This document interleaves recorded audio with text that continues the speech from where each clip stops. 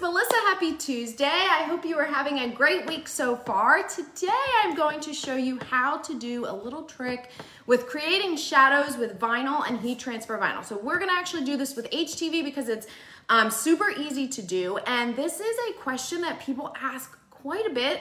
And then when I tell them how to do it, they're like, oh my gosh, mind blown, that is so easy. So um, typically when um, what we get asked, and it's gonna be hard to like kind of conceptualize what I'm trying to explain until we get to the end and you'll see. But usually um, when people are asking is they want essentially like a shadow effect, two different color, two tone um, design. So sometimes it's a font, it's usually a font, right? A font type design. Okay, so um, what you're gonna do, and I've printed this out just so you can see how I had it set up in Silhouette Studio. So basically I typed out my words, craft vibes only, okay? I used a font, this isn't this a cute font? It's called Chris, uh, Farmhouse Christmas font, and it's actually from the So Fontsy uh, Farmhouse font bundle, so there's a bunch of fonts that are all like very farmhouse looking. But anyway, I typed the font out, typed the text out with this font, and then I put a regular offset around it, okay? So you can see the black was the offset. Now, we're not doing this on paper. I'm literally just showing you this so that you can see how it was originally designed, okay? So it's a standard offset, like, I, I don't know, it was like 0.1 or something, whatever, whatever the offset was, okay? I didn't do anything separate. So I typed it out, offset, okay? And then I just separated the two. Now the first layer, this is the bottom layer, I already have cut just for the sake of time, okay? So I cut this on one color HTV. The second part, we are gonna cut ourselves on another HTV, okay? So when I go to put this together, Obviously, I have created it with this offset, but we are not going to perfectly offset it. We are gonna offset the offset, and you'll see what I mean as we put it together, okay? So I'm gonna get this ready, and we are going to start cutting this. So I'm gonna load the machine in, right? I mean, load the HTV. This is just smooth HTV. And I'm going to, I apologize, I have my back to you. I have everything set up on my craft table today, actually, so that I can get the camera real close when I go to put the HTV on so you can see. All right, so now I'm just gonna send this second part, and once I start cutting it, I'll turn it around so you can see um, what it's doing gonna start cutting that. So this is the part that I'm cutting now. So this is just the top layer, okay? And I did put a couple of weeding lines around there just so you guys can see, uh, just so it makes it easier to weed when the time comes for that, okay? Don't worry, I'm not using this heat press right now. So that heat press is not hot, it's uh, not gonna be a problem, okay? What we are gonna do, I have my um, Hotronix, the small pink craft heat press right here. This is a 9 by 12 perfect for like if you need if like a mobile type heat press because it's just small and light and I actually keep it in a cabinet I don't use it a whole lot because I have so many heat presses um, and I typically keep I typically use my 8-in-1 because it's just um, a space saver but this one I like because I can bring it over to this craft table to show you guys so we're just gonna do this white shirt I've kind of um, I've already heated the heat press up so it's ready Yeah, it's, it's pretty warm. And I just, this shirt is a bit wrinkly, but I've started to use my heat press to iron it, to be honest with you. I'll just do a little bit more. Um, I'm using, as you can see, sorry you can't see me, but I'm using um, a pressing pillow here so that I can get some extra pressure. Okay, and this is just a pre-press on here. I'm not actually gonna put it that far down, but I just, I wanna get some of these wrinkles out a little bit.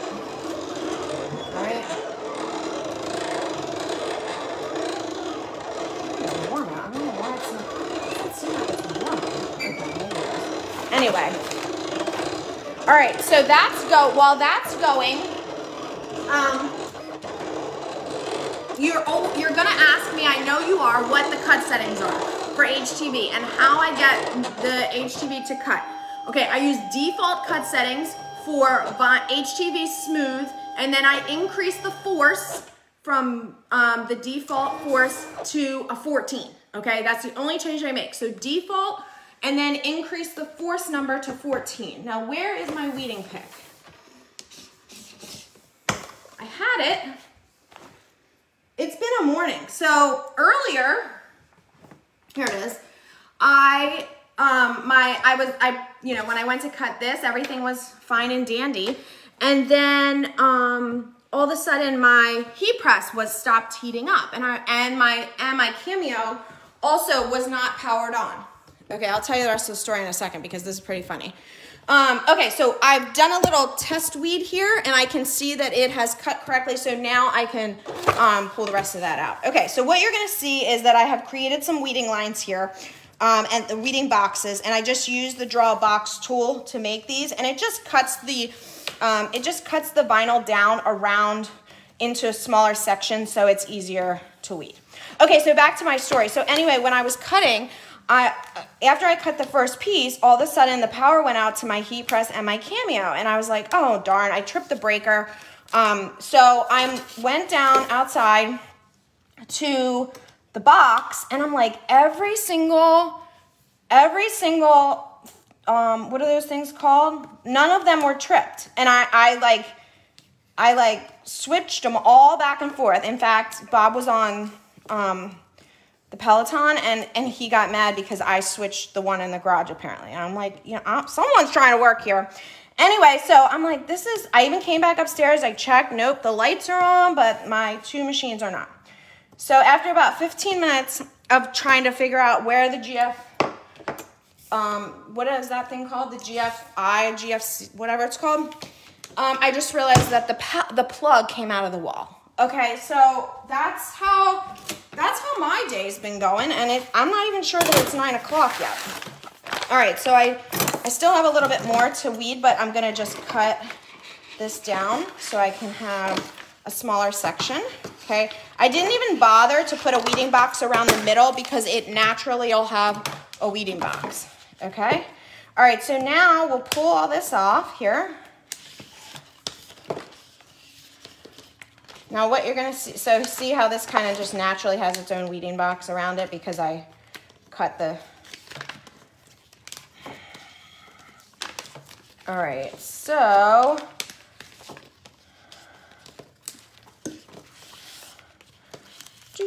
I could do all of this before I get on this video, but but why why would we do that? You guys like to see when like things don't go right, and usually it's when it comes to weeding where things don't go right, right? So I'm literally just setting myself up for for uh, an issue, but that's that's okay. That's why we like Facebook Live. Okay, so let's get some of this stuff out of our way so we have a little bit more room to work here. I'm gonna move the Cameo. This time I'm going to intentionally unplug it. Um, now, what you normally would do is make your design, your, you know, your, you have your design, you would put that on your shirt, and then you would put this one right on here, right? Like right over top of it to make that offset. However, let me, let me pull this so it's a little bit from more direct on so you can see. Okay, so what we're gonna do to make the shadow effect, and this is why I said it's easier with HTV than it is with, with vinyl, we're gonna put it on there, but we're not gonna put it directly in the center. I'm just gonna move it off center. And it naturally creates its own shadow type of effect. Now, when it's on the shirt, you'll be able to see it a little bit easier. And you can make this as dramatic as you want, but all you're doing is not lining it up correctly. So let's say you want the shadow to be up into the top. Okay, then you just put your top, your top layer further down into the left. And now you have the shadow is kind of up and off. Do you see what I'm doing? So instead of it being exactly on, and the and the larger that the bottom off, the larger that the original offset is, the more room you have to play with this. But what you can see if I pull it up close is that, see here where, like, see on this S, there's just a little smidgen here and you've got a thicker here. So that gives it that shadow effect. Now, when I put it on my shirt, this is how I'm gonna do it. Oh, so now it's warming up. Oh, Lord, we're gonna have a little bit of time to wait because it's only on 230. Um, okay, so what we're gonna do, we will set this on the shirt first. We'll get it all set up. I like to actually set it, do it on my pressing pillow so that way I can just move the whole pillow onto um, my heat press. This is very wrinkly. All right, now, so what we're gonna do, let me take my first layer. Now, you guys know the rules, right? When you, I'm actually gonna turn the pressing pillow so it's this way. So it uh, fits. Okay, so when you, let's find the middle. I'm gonna show you all the tricks today since we have some time here.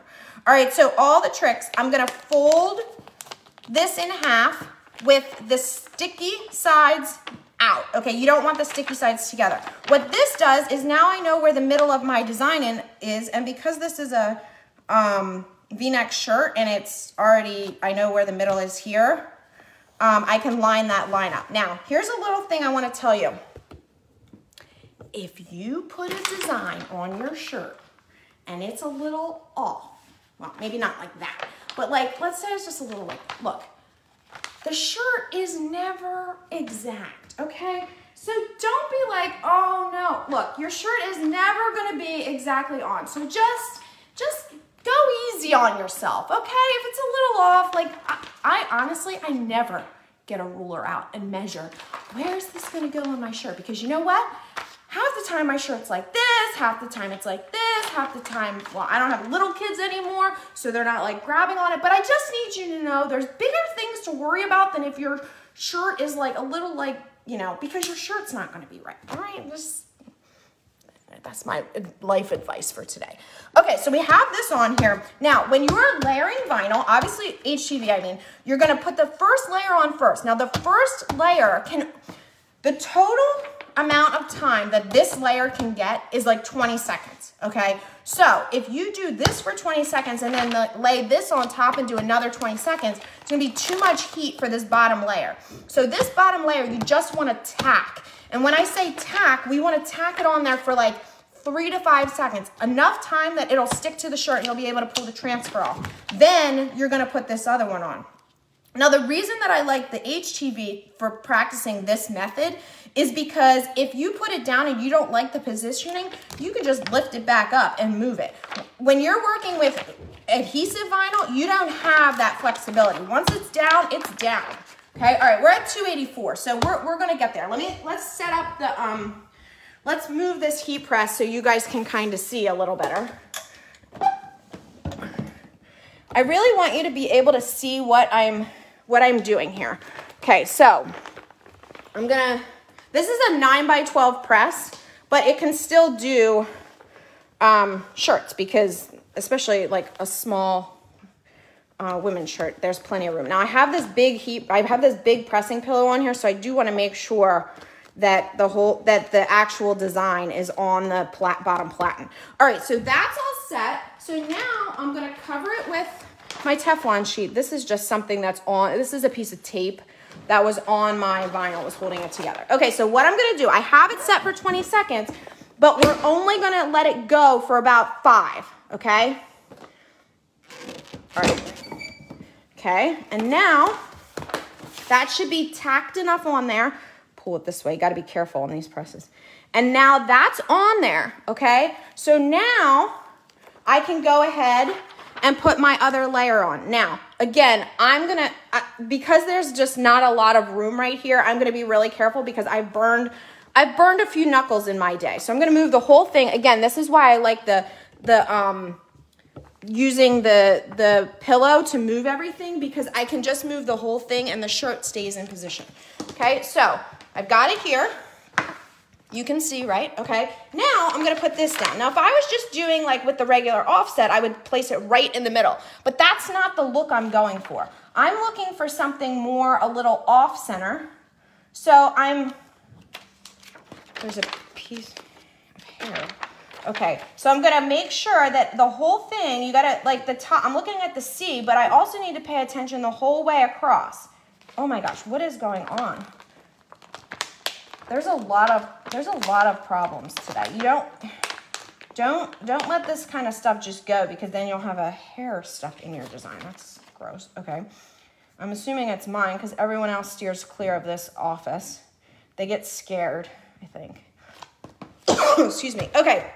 Here we go. So you see how it's like offset now? Okay, so now I'm to move the whole thing, my little um, pillow back to the press.